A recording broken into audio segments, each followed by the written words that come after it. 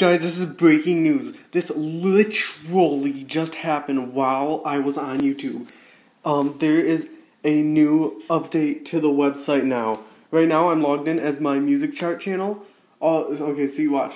I'm gonna click this um, in the top right corner, and this is the new design. Look at that, guys. This just changed while I was browsing. It's it's like the mobile app now. It's got my channel creator studio switch account and stuff. Um, purchases uh, YouTube around and um, so the whole uh, guys, they just changed it. This is crazy.